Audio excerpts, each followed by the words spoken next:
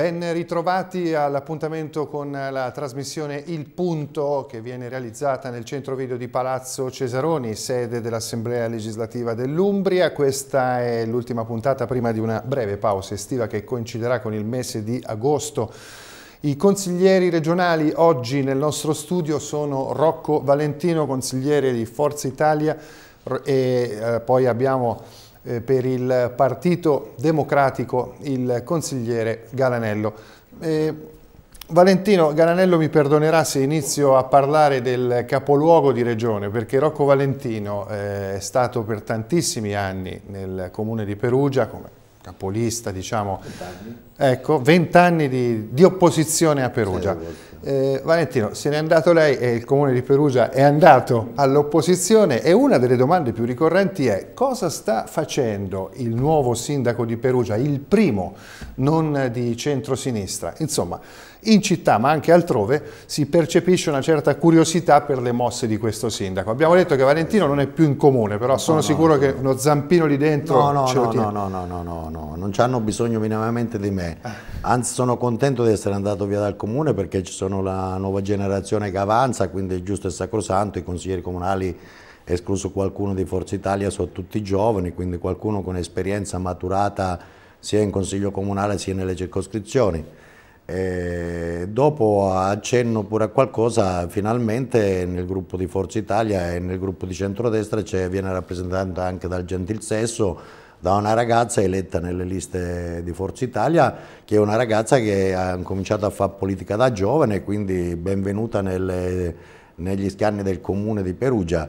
Il sindaco Romizzi, che posso dire, è stato con me dieci anni in consiglio comunale, quindi penso di conoscerlo bene, è stato l'uomo giusto, al posto giusto, al momento giusto per il centrodestra, ha vinto le elezioni, i primi mesi sono passati quasi un mese e mezzo da quando si è insediato a Palazzo dei Priori, ha fatto delle mosse azzeccatissime, certamente dovrà continuare a lavorare perché la città vuole avere delle risposte e noi siamo pronti a dare delle risposte, anzi è lui pronto a dare delle risposte alla città perché è presto questo incarico, onere e onore che deve portare a termine, sta lavorando bene in questo mese, speriamo che continui a lavorare bene. Romizzi è un bravo sindaco, continuerà a lavorare per la città, eh, ha dei problemi da risolvere in questa città, incominciando dalla sicurezza, finendo anche al bilancio che è una cosa importante e finendo tante altre cose, ma penso che con la, con la, sua giunta ne sta discutendo e penso che porterà a compimento il suo mandato in ottimo modo. Ecco, che giunta è questa del, centro, del comune di Perugia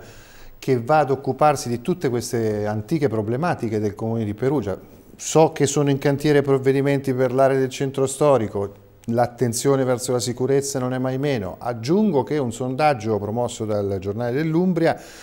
ha dato come primo obiettivo, come richiesta dei cittadini, invece clamorosamente l'arrivo dell'IKEA e di Decathlon eh, sul nostro territorio. Non penso che lo dovevano dire i cittadini. Io ho fatto il consiglio d'opposizione, ho fatto il capogruppo del PDL, che eravamo 12 consiglieri, abbiamo votato sia a favore dell'IKEA che la Declaton, anzi sono state due nostre battaglie da portare avanti perché penso che un gruppo di opposizione non si possa opporre allo sviluppo economico della città e al lavoro della città. Oggi i cittadini hanno bisogno di lavoro,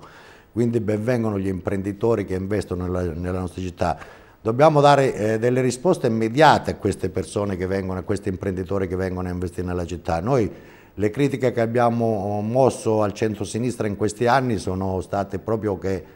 passano troppi anni prima di dare una risposta. Eh, penso che il sindaco Romizzi darà delle risposte subito ed efficienti, cioè io sono del parere che un imprenditore che viene a investire in città dopo due o tre mesi gli deve dire sì questa cosa la può fare, sì questa cosa non la può fare. Non possiamo far passare 5-6 anni, la Declaton sono passati quasi 6 anni, ne discutiamo da 6 anni, L'opposizione ha votato a favore della Decleton, come ha votato a favore dell'IKEA, quindi benvengono questi imprenditori a investire in città e mi auguro che questa giunta dia delle risposte celere. Se dopo c'è qualche assessore, qualcuno che non è d'accordo, mm, non so cosa dire, nel senso che eh, in, in, in democrazia vince, vince la maggioranza, quindi Prenderemo atto che qualcuno non è d'accordo, ma noi come centrodestra siamo favorevoli che gli imprenditori vengano a investire nella città e creare posti di lavoro per i perugini e non soltanto per i perugini. E apriamo una finestra anche su Orvieto, in onore del consigliere Fausto Galanello, che è l'unico rappresentante dell'Orvietano, se non vado errato, all'interno del consesso dell'Assemblea legislativa dell'Umbria. Come, come, va nell'Orvietano? Quali sono le problematiche invece che bisogna affrontare per Orvieto? Alcune sono note da tempo, devo dire, no? come i collegamenti della città, della zona, si parla un po' sempre anche di infrastrutture quando si pensa a questa meravigliosa città arroccata lassù, però anche un po' fuori dal contesto. Dico male, è un'espressione no. impropria. Ma Orvieto vive una propria crisi dentro un contesto più generale che è quello regionale e quello nazionale.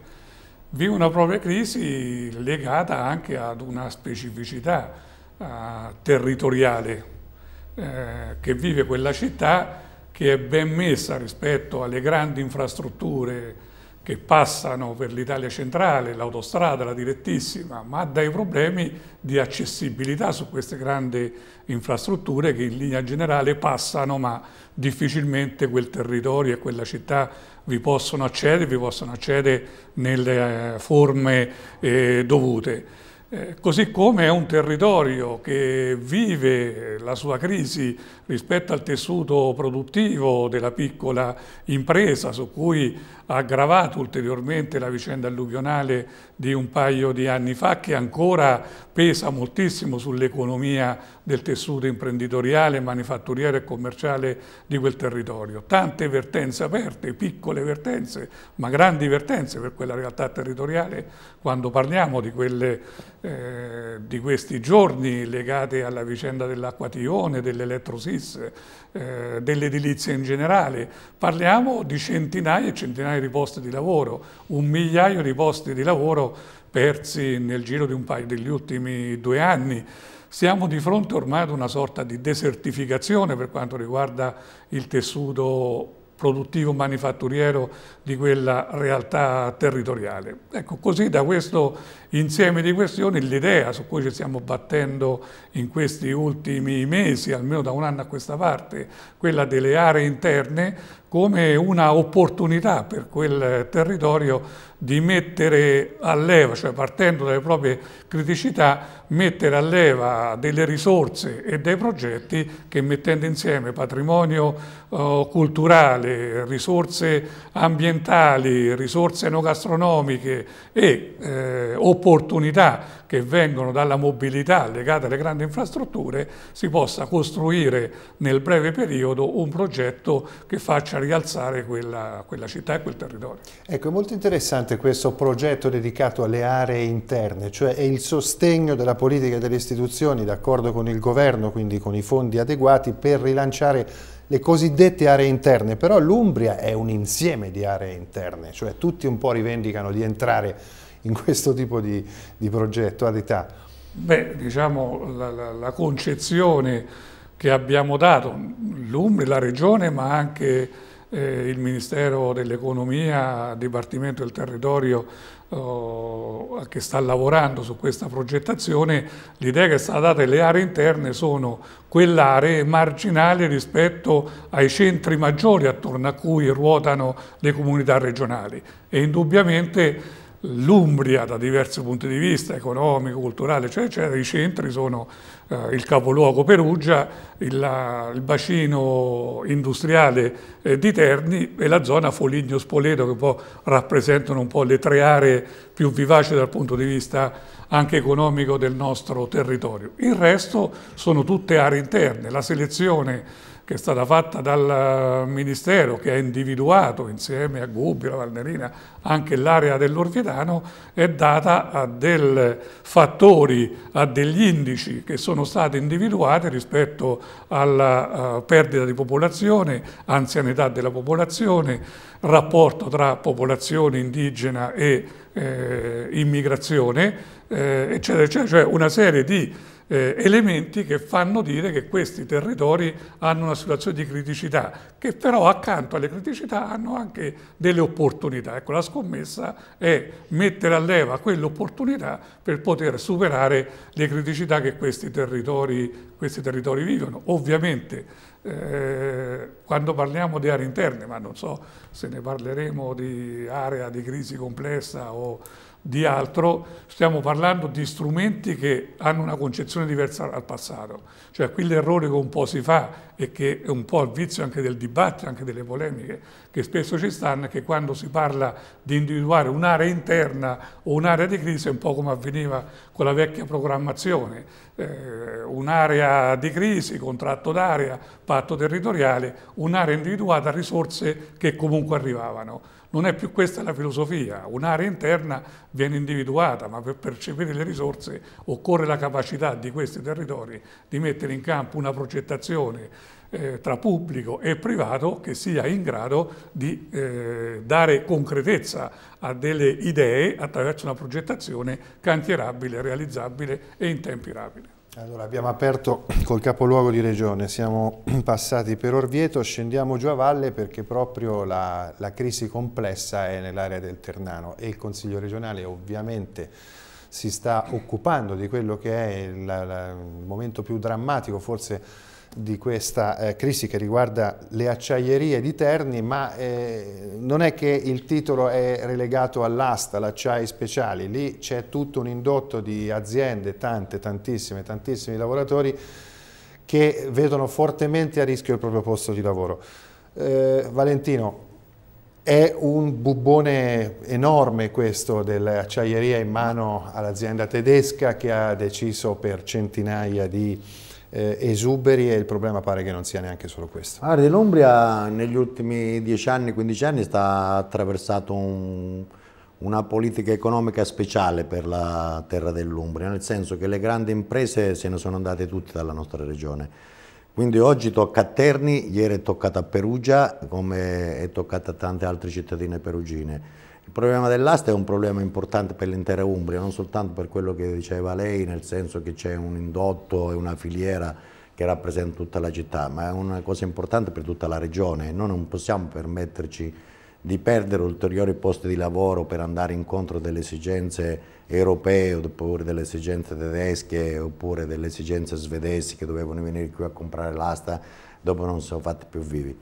A questo punto penso che la cosa più importante dovrebbe intervenire il governo per prendere una decisione importante per l'acciaieria di Terni, per fare in modo che le acciaierie di Terni rimangano a Terni, rimangano in Umbria, che è una cosa importante, e che non si perdono posti di lavoro, al di là di quello che ne possono pensare i sindacati o meno, perché i sindacati hanno voce in capitolo anche in questa vicenda, però la cosa importante è far restare l'asta, far restare le acciaierie nella nostra, nella nostra regione per un semplice motivo, perché al di là che le grandi imprese sono scappate tutte dall'Umbria, dobbiamo pensare pure per rilanciare l'economia umbria, se dovesse, facendo scongiuri, facendo gli scongiuri necessari, perché io mi auguro che non sia così, ma se dovesse succedere una cosa simile, come consigliere regionale, come regione e anche come governo dobbiamo incominciare a pensare come si può rilanciare l'Umbria e che decisione bisogna prendere in l'Umbria. Ripeto, mi auguro che ciò non avvenga, però le cose non sono belle, al di là di quello che si dice in Consiglio regionale e quello che possiamo dire in altri consiglieri regionali. Qui deve intervenire il governo, deve intervenire il Ministro dell'Economia del Lavoro per prendere decisioni importanti per la nostra terra. Lì non si tratta di 100 posti di lavoro, si tratta di migliaia di posti di lavoro. Migliaia e migliaia di posti di lavoro, perché non ci sono soltanto i dipendenti dell'asta, ma ci sono, come diceva lei, c'è una filiera che lavora intorno all'acciaieria di Terni, c'è la piccola e media impresa che lavora con l'acciaieria di Terni, ci sono commercianti che lavorano con l'acciaieria di Terni, ma non soltanto i commercianti, ci sta anche il turismo che lavora con l'acciaieria di Terni, perché persone che vengono per lavorare a Terni in modo da avere rapporti con l'acciaieria si fermano nella nostra regione e portano avanti anche il turismo. Quindi dobbiamo decidere veramente quello che vuole fare il governo e quello che vuole fare anche la regione dell'Umbria. Ecco, per non perdere quella che è una vera eccellenza, noi l'abbiamo toccata con mano un anno fa, una delegazione del Presidente del Consiglio, Eros Brega, eh, è stata all'interno delle acciaierie, abbiamo visto l'eccellenza con i nostri occhi, insomma, questo inox eh, ultra pieghevole, adattabile a qualsiasi tipo di costruzione, a fare da parete di un edificio, a essere in parti di meccaniche di, di grandi macchine. Eh, una flessibilità incredibile, una capacità che hanno sviluppato a Terni in quel grandioso stabilimento. È veramente un'eccellenza, non a parole, non è che premiamo così il buon gusto, ma veramente un'industria da non perdere E, però ecco, in crisi tutta la zona perché anche il chimico, anche eh, tutto ciò che è collegato alla siderurgia, oltre al lavoro che si fa dentro l'acciai speciali, eh, risente di questo momento mh, estremamente eh, difficile. Gananello, bisogna che intervenga il governo Renzi, cioè l'acciai speciali non è l'ILVA, non è che è la stessa cosa, servono proprio strade direi precise, ad hoc da seguire. Serve che intervenga il governo e non solo, perché eh, premesso diciamo, che confermo la posizione ampiamente assunta dalla nostra regione di ferma opposizione al piano di eh, tagli significativi produttivi e di personale dell'acciaieria di Terni, eh, confermando ampia e ferma solidarietà alla mobilitazione del sindacato e dei lavoratori contro questo piano, eh, così come confermando che serve un'azione corale di tutta la regione, perché questa non può che non essere un'avvertenza regionale, ma appunto la soluzione eh, che si può ricercare a questo problema non sta nella nostra regione. Eh, qui c'è un problema complessivo, come un po' abbiamo detto anche nel dibattito recente, nell'ultimo Consiglio oh, regionale, occorre un'avvertenza nazionale ed europea, cioè se non aggrediamo le criticità di un sistema produttivo, nazionale ad esempio, che vede scomparire non solo delle attività dall'Umbria, ma vede ridurre notevolmente alcune produzioni, come ad esempio quella automobilistica eh, ed altre che vedono la crisi dell'edilizia, eh, l'elettrodomestici, che vedono proprio nell'acciaio la maggior parte del consumo di materia prima, resta difficile difendere una realtà produttiva che poi non ha un mercato a partire da quello nazionale, oltre che quello eh, europeo. E qui ovviamente occorre ripensare una politica produttiva, industriale del nostro Paese dentro il quadro europeo che non può non interessare le istituzioni ai massimi livelli, dal governo al Parlamento europeo, ma anche eh, il sistema nel suo complesso a partire dall'imprenditoria del nostro paese oltre che, della nostra, oltre che della nostra regione, perché qui vanno fatte appunto delle scelte. Resta difficile appunto difendere dei momenti produttivi di materia prima quando si abbandona nel nostro paese in modo in larga parte il consumo di quella materia. Quindi piani industriali da rivedere, politica industriale e politica del lavoro. Lei personalmente si è adoperato con eh, atto istituzionale insieme ad altri consiglieri per la cassa integrazione. La cassa integrazione in deroga, anche lì ci sono difficoltà e questo riguarda addirittura tutta la regione, quindi tutte, tutti i sospesi che ci sono, tutti i lavoratori che sono in attesa. Qual è stato il suo intervento? So che eh, ha lavorato su questo. Ma noi abbiamo posto insieme al collega Mariotti un problema eh, che desta grande, forte, profonda preoccupazione. In Umbria siamo a oltre 11.000, credo, persone in cassa integrazione. Io conosco alcune realtà territoriali, non per tornare sull'Orvietano, ma parlo di cose che conosco bene, dove abbiamo, credo solo lì, circa un paio di mila di persone eh, che stanno in cassa integrazione. Molte di queste persone sono nuclei familiari perché eh, nella stessa difficoltà in cui si sono trovate ad esempio aziende tessili da una parte, edilizia o elettronica dall'altra, abbiamo sia la moglie, il marito, il figlio in cassa integrazione. Cosa succede nel momento in cui una parte così significativa di cittadini e di famiglie si ritrova senza quel salario purché minimo di sopravvivenza. Credo che stiamo correndo proprio dei rischi profondi di degenerazione di un sistema. Da qui l'attenzione perché ovviamente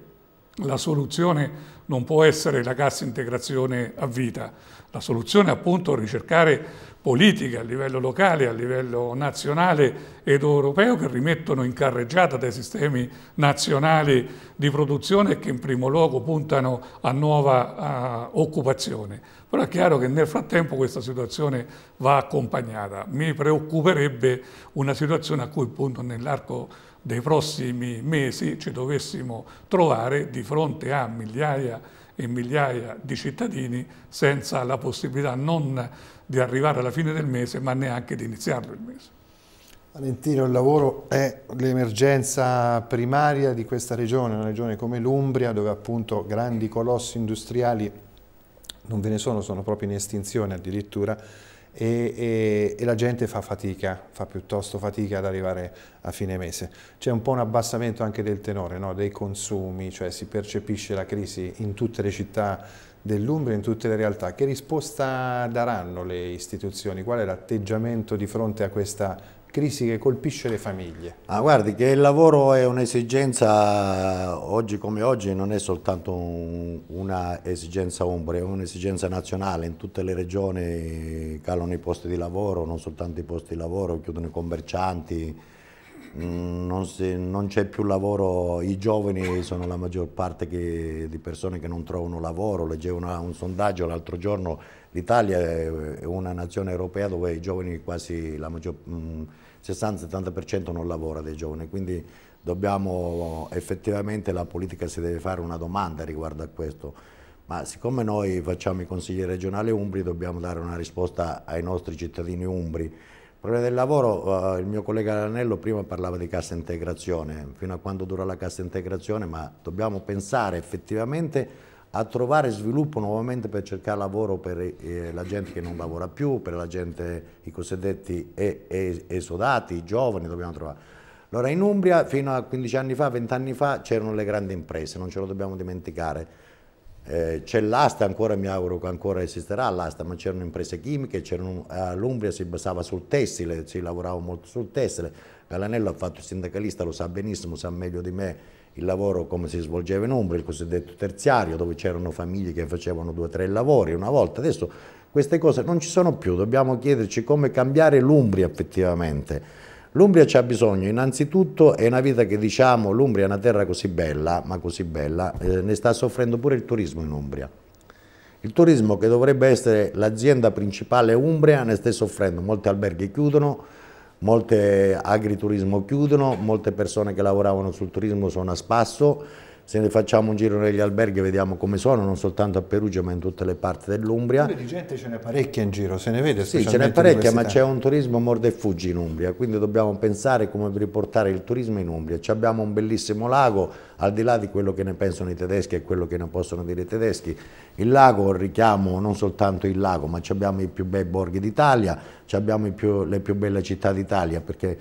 eh, dobbiamo lavorare eh, in questo modo e io dopo ho un pallino, per me l'Umbria è fatta di piccole e medie imprese che sono il tessuto vitale dell'Umbria e possono essere il volano economico per creare posti di lavoro in Umbria. Dobbiamo pensare molto di più alle piccole e medie imprese, è giusto pensare alle grandi imprese, quelle poche che sono rimaste come la Nestlé, eh, come l'Asta, come Dobbiamo smettere di pensare come umbre, e io sono uno che viene dal pubblico impiego, non possiamo vivere più di pubblico impiego. In Umbria ci sono molti dipendenti, ce lo dobbiamo dire apertamente. Quindi dobbiamo cercare di creare posti di lavoro, anche nel pubblico impiego se è possibile. Per carità, ci mancherebbe altro. Però sappiamo benissimo come vanno le cose, c'è una crisi economica, possono, gli enti non fanno più concorsi, niente. Quindi il rilancio oh, del lavoro in Umbria, il rilancio economico in Umbria deve partire dalle piccole e medie imprese e in Umbria ce ne stanno tantissime, ci sono 90.000 piccole e medie imprese in Umbria. È vero che molte piccole e medie imprese lavoravano con le grandi imprese, come la, con la Nestlé, come con l'Asta, come... ma ci sono imprese in Umbria che sono leader mondiali, che possono rilanciare veramente l'economia umbria e creare posti di lavoro.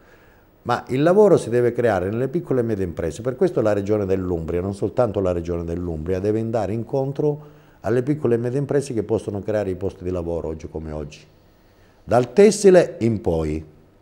dal tessile in poi, alle ceramiche, tessile e altre cose. Ci abbiamo delle, delle, imprese in Umbria, potremmo parlare della ceramica di Deruta che ce la invidia tutto il mondo, no? come potremmo parlare di altre cose, anche della ceramica di Gualdo, tante altre cose. Dobbiamo incominciare a ragionare sulle piccole e medie imprese e la politica deve andare incontro alle piccole e medie imprese per il rilancio del lavoro e dell'economia umbria. Sentiamo un esponente della maggioranza, che cosa dice Garanello del Partito Democratico su questa via. Rilancio delle piccole e medie imprese, priorità per eh, i prossimi mesi? Sicuramente, accanto ad alcune grandi vertenze, la parte significativa del tessuto economico e produttivo del nostro territorio eh, è basato su questo. Parliamo di larga parte dell'Umbria, oltre ai tre centri che prima Maggiore richiamavo, è costituita da tante piccole comunità dove il tessuto di base e che forse ha consentito all'Umbria di reggere rispetto alla crisi più generale che ha colpito eh, la grande industria e larga parte del paese proprio grazie a questa risorsa che è costituita dalla piccola realtà produttiva sia manifatturiera, servizi, commerciale eccetera. Ma credo che questo fa parte delle priorità anche nelle politiche e nelle scelte che la nostra regione ha compiuto e sta compiendo nel tempo. In pillola, perché siamo già in conclusione,